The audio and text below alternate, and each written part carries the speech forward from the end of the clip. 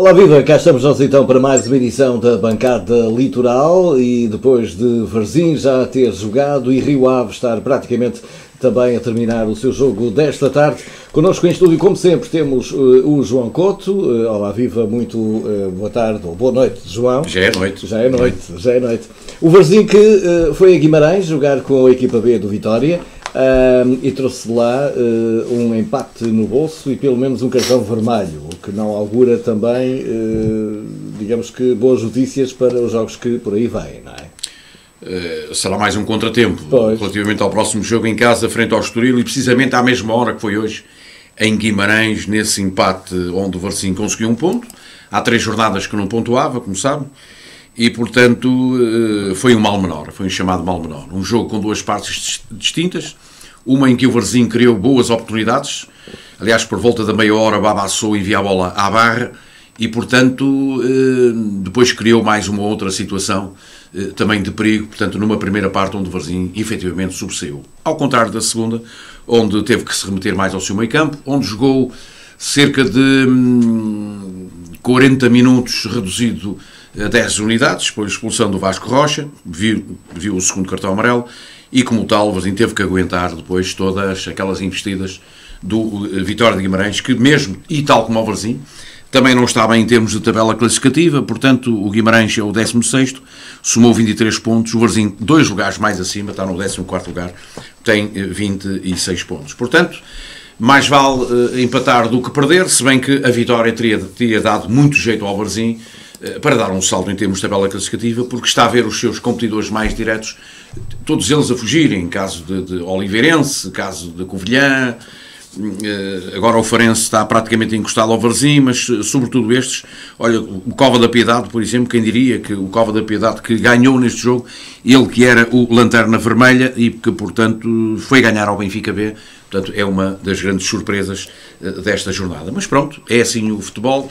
O Varzim empatou em Guimarães, esperemos que domingo, como disse, é esta mesma hora, portanto às 5 da tarde do próximo domingo, o Varzim possa, hum, em casa com o Estoril Praia, eh, possa ganhar, que é coisa que já não, se, já não nos lembramos há algum tempo. É complicado. Ah, mas, João, que Varzim é que tivemos hoje? Um Varzim melhor, um Varzim à procura do, do resultado, à procura da vitória, um Varzim tímido ainda, apático, que Varzim foi? Olha, Rui, eh, eh, foi sobretudo um Varzim que se, que se, que se espera que seja melhor, portanto, porque com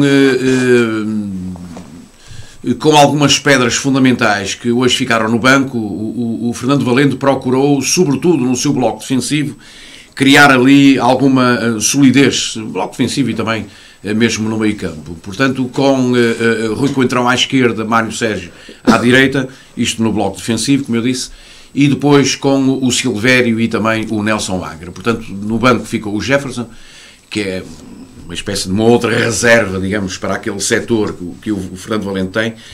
Eh, e isto não parece a construção de uma equipa que começa de trás para a frente, como, como se costuma dizer, e como de facto é, é, é panágio. O Varzinho hoje colocou um homem que há muito tempo que tem estado no banco e que não tem jogado por aí assim além. Acabou, no fundo, por ser substituído, como sabes, quem não joga há muito tempo não tem 90 minutos nas pernas, o caso do Amã. Aqui um chama-se Amã com um H. O outro chama-se Amian, que é o lateral esquerdo que se lesionou, infelizmente. Uh, aliás, o Varzim, nesse aspecto, tem dois laterais esquerdos uh, lesionados, o caso do Elísio uh, e também do Amian. Mas este Aman deu boa conta de si, deu boas indicações, portanto, sinal de que Fernando Valente poderá muito bem continuar a contar com ele. Portanto, o Varzinho, aos poucos, acredita, depois daquilo que já dissemos, fechado que foi a janela de transferências após o fim do mês de janeiro, Fernando Valente procura aos poucos ir dando alguma solidez ao, uh, à equipa em termos de, de, organização dos, dos vários setores. E só assim é que é possível, uhum. uh, efetivamente, ele reunir o bloco, tornar o bloco mais coeso e depois passar para os jogadores as ideias com que eles depois dentro do campo vão, vão efetivamente enfim, demonstrar todo o seu potencial, todas as suas características, a parte do dinamismo que o jogador tem que ter. Esta, esta reta do final do campeonato vai ser complicada, precisamente porque tudo o que de mal acontecer vai-se eh, vai ser, vai ser importante para, para aquilo que poderá ser a próxima época. Oh, Rui, vai ser complicada, quer para quem uh, luta para subir divisão, como quem que, que não, não, se pode distrair, caso de Famalicão e Passos Ferreira, como também para quem luta para não descer. Portanto, vão ter que andar ali, uh, digamos que a esmiuçar pontos aqui e ali, porque isto é uma, vai ser uma luta tremenda, porque, como sabes, descem três equipas e, naturalmente, que enfim, a luta vai ser eh, tremenda. Cada vitória será comemorada como a última da vida dos jogadores, eh, porque quem precisa de pontos, como sabes, é como se diz na gíria, é como precisa, quem precisa de pão para a boca. Aí está. Entretanto, vamos também olhar muito rapidamente a Primeira Liga, até porque o jogo do eh, Rio Ave estará mesmo a terminar e o Rio Ave a perder com o Boa Vista. Digamos que Daniel Ramos continua sem, sem ter muita sorte nos resultados, sem acertar muito na equipa, as coisas estão complicadas ali para os lados do Vila do Conde. É, se efetivamente o Rio Ave perdeu, nós ainda não sabemos, portanto o Rio Ave continua a jogar, não é assim? Sim, sim, está. está. E, e portanto o jogo estará pratic, praticamente no fim, eh, será mais uma, uma, daquelas, uma daquelas jornadas em que o Rio Ave não consegue efetivamente o, os tão, tão esperados três pontos, olha, terminou o jogo. Terminou agora. Os tão esperados três pontos, a tal vitória com que, que é o que falta. Naturalmente, porque o Rio Ave já não ganha há algumas jornadas também, portanto, uh, e as coisas podem, no entanto, tornar-se cada vez mais difíceis. Não é muito difícil, não, não tem, nada a ver, não tem nada a ver com a descida, nem, nem com coisa que se não, Mas de qualquer forma, não, nós estamos habituados nas últimas temporadas a ver um Rio Ave assim a claudicar tanto, não é? Mas acontece, Rui. São, acontece, são, claro, são, coisas, são coisas próprias Aliás, do, do o, futebol. o próprio Sporting de Braga, que andava lá por cima... Nas nuvens. Andava nas nuvens. Andava nas nuvens. E, e, se calhar por isso mesmo é que uh, agora está com a realidade bem... É? É, é, é muito complicado. É futebol. Rui, é, pronto, é futebol, é futebol. contrário, é muito complicado. Uh, eh, um, o Braga, naturalmente, quer -se, quer se aproximar dos grandes, só que falta-lhes o chamado estofo, e não tem, o Braga não tem. Pode ter uma boa estrutura, e tem, nós acreditamos que tem, que tenha uh, por aí fora, mas uh, o grande o grande tem outros meios capazes, são outros plantéis, né? é outro orçamento, se bem que os orçamentos não ganham jogos, mas, mas tem onde, onde buscar, onde alicerçar tudo aquilo que envolve um clube como o Sporting de Braga. O que não quer dizer que fazes mais os clubes também têm. O Benfica já teve a sua fase má, o Porto está a passar. Uma fase mais ou menos. Também por uma fase mais ou menos. Esta vitória agora com o Tondela, pronto, dá algum ânimo na perspectiva de que venha aí um jogo que poderá ou não decidir o título. Eh, não decide o título, mas se calhar é capaz de decidir muita coisa relativamente ao título, não é? Que é o tal jogo, de, de o tal Porto-Benfica para sábado à noite às 8h30 Uh, o empate coloca tudo na mesma, uh, se bem que quem passa para a frente nesta altura do campeonato depois vai ser tremendamente largar esse lugar, quem quer que ganhe nesse duelo Porto-Benfica.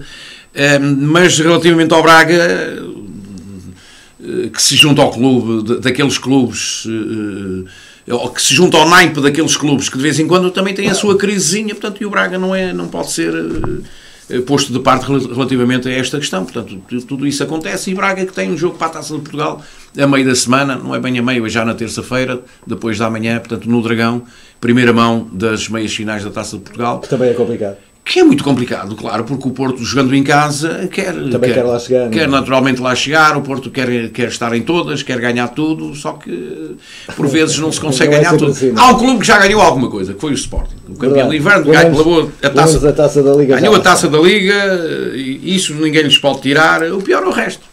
É? E o resto chama-se campeonato, provas, competições europeias e, e por aí fora. Muito bem, João, vamos marcar encontro então para o próximo domingo, já depois do tal Porto Benfica. Será mais ou menos esta hora? Mais ou menos esta hora, cá estaremos para falar do jogo do Varzim, esperando que o Varzim então eh, consiga uh, amilhar alguns pontinhos. Deixa-me deixa só, deixa só dar este, este esclarecimento. O Varzim jogou hoje em Guimarães às 5 horas. Joga de hoje a 8 em casa com o Estoril também às 5 horas. Uh, não pensem que é o Varzim que quer jogar às 5 horas. Uh, estes horários são impostos pela Liga de Clubes. A Liga de Clubes quer que alguns jogos comecem às 3 e outros às 5. Portanto, quer, quer repartir aquela, aquela jornada e como tal, acontece que o Varzim, o jogo 2 e o jogo 2 a 8 já cumpre de algum modo este horário das 5 horas. E depois irá jogar às três, ou se não às quatro. É, são, são, atenção que são horários impostos pela Liga. E depois os clubes, enfim, por vezes podem não gostar de... de, de mas tem que se adaptar. De é? jogar a esta hora, mas tem que se adaptar, porque isto é uma liga profissional. Há quem não goste de jogar ao sábado, por exemplo, o Barzinho ao sábado eh, tem meia dúzia de pessoas, por assim uhum. dizer, não é? Para lhe chamar outro nome.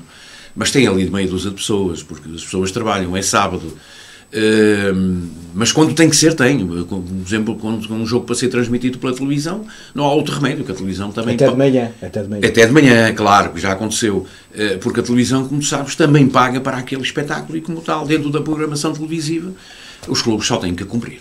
Muito bem, João, marcamos encontro então para hoje a oito dias. Muito obrigado, João Couto, eh, sempre também aqui eh, todas as semanas na bancada litoral. Hoje abordamos o empate do Varzim em Guimarães contra o Guimarães B e também a derrota do Boa Vista no Bessa. O jogo terminou há pouquinho por uma bola a zero. Fica a promessa de voltarmos então dois, oito dias. Tem a continuação de um ótimo, de um ótimo domingo, o que resta deste domingo e até à próxima semana.